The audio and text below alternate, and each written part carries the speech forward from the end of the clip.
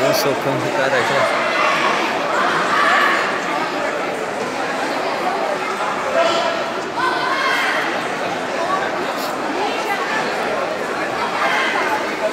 Socão no peito do cara já.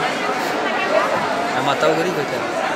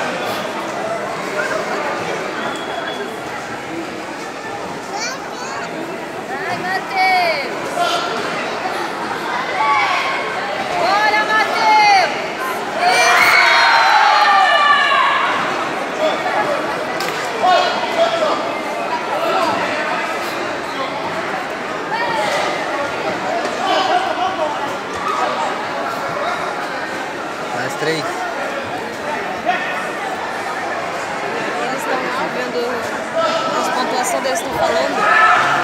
Vai, Matheus! Bora aí!